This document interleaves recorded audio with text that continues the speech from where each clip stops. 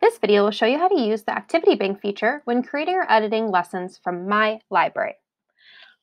From My Library, you'll see that you'll be able to create your own lessons, and you also have all the lessons that you've added from Nearpod's library in your library available.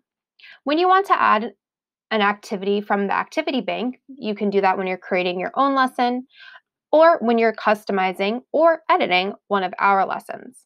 I'm going to show you this by editing a lesson that I already have in my library. I'm going to hover over this lesson, Newton's Laws of Motion, with my mouse or trackpad, and then choose the Edit option on the left-hand side.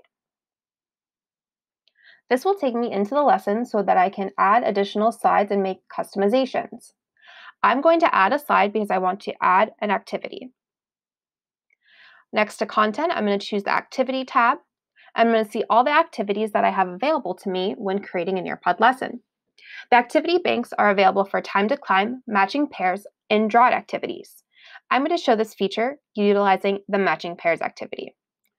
When I click on the matching pairs activity, it'll take me to where I could certainly create my own matching pairs activity from scratch. And on the right hand side, you will see the option that I'll be able to add activities by searching or by filtering as well by subject or grade level. I'm going to search by topic. I'm going to see all of the activities that are available for this topic. I'm going to choose one I'm interested by clicking on it.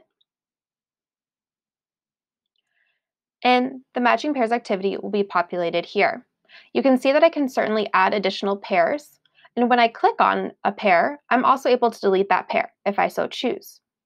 When I'm ready, I can simply click Save you can always click this arrow to see your matching pairs activities again. And if you decide you want a different one, you can simply just click on that and it'll populate that activity instead. I'm going to go ahead and click Save.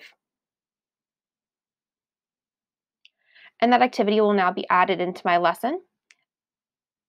I can certainly move it to where I would like.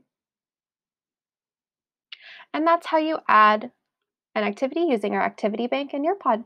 Happy teaching!